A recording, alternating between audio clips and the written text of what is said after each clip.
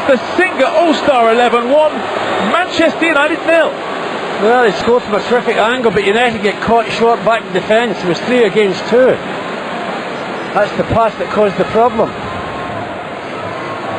Oh dear me, I'm not so sure the goalkeeper will be happy with that. You don't get deep at that post, you get deep at the other post. And they took a little bit of dummy for Ben and